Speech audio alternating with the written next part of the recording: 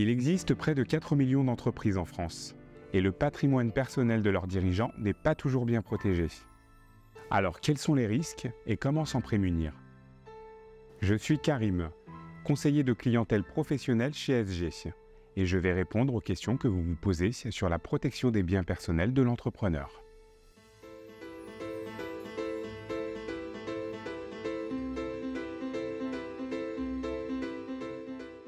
On commence tout de suite avec une question de Joanny. Si mon restaurant ne marche pas, il y a un risque pour mes biens personnels? Joanny, cela dépend essentiellement du statut de votre entreprise. S'il s'agit d'une personne morale, comme une SARL, les biens personnels sont dissociés du patrimoine professionnel, ce qui les met à l'abri. Si vous exercez en tant qu'entrepreneur individuel, les patrimoines personnels et professionnels sont séparés de droit depuis la réforme de mai 2022, sauf si vous y renoncez formellement. Notez néanmoins qu'il faut distinguer les biens protégés de plein droit qui bénéficient d'un régime d'insaisissabilité depuis août 2015. C'est par exemple le cas de la résidence principale. Et les biens qui nécessitent une déclaration préalable pour être protégés. Par exemple, les biens fonciers bâtis ou non bâtis. Dans les autres cas, par exemple, si vous vous êtes lancé en auto-entrepreneur avant mai 2022, il y a effectivement un risque. Pour le réduire, une seule solution, c'est de changer de statut. Je vais me marier. Vous me conseillez de faire un contrat? Tout d'abord, félicitations Quentin. Si vous ne faites pas de contrat, vous serez par défaut sous le régime de la communauté réduite aux acquets. Sachez qu'il existe d'autres régimes. Par exemple, la séparation de biens ou la participation aux acquets. Les entrepreneurs y ont souvent recours pour protéger leur patrimoine. Je vous conseille de consulter un notaire qui saura bien mieux vous renseigner sur ce sujet.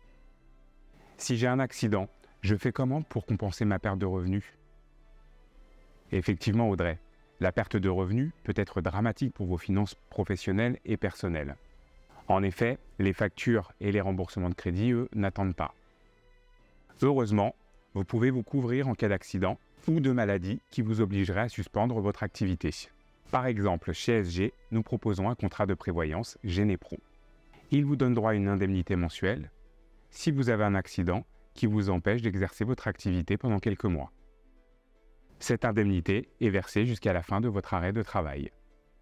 S'il vous intéresse et que vous souhaitez connaître les conditions de ce contrat, il est présenté sur le site professionnel.sg.fr.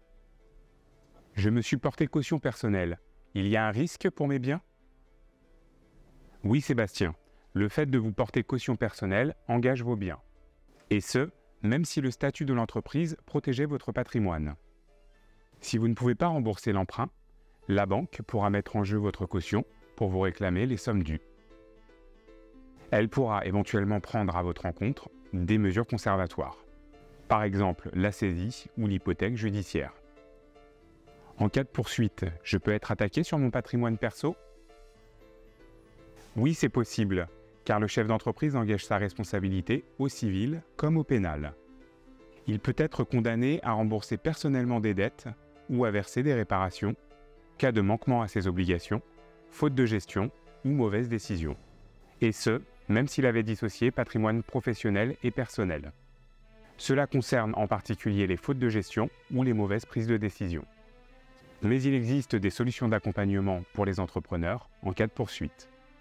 Chez SG, l'assurance responsabilité des dirigeants permet de vous protéger ainsi que votre patrimoine dans le cas d'une mise en cause personnelle.